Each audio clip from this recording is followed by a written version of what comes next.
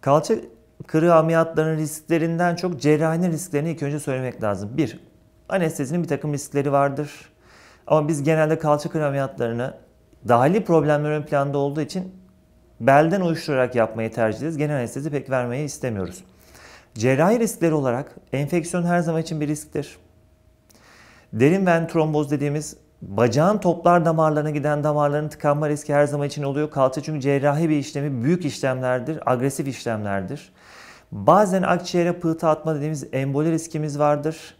Nadiren de olsa yaptığınız protezin yerinden çıkma ihtimali olabilmektedir. Hasta erken dönemde bacak bacak üstüne atarak oturmaya kalkarsa bu en büyük risklerden birisidir. Ama onun dışında başka ciddi anlamda bir riskimiz yoktur bu ameliyatlarda.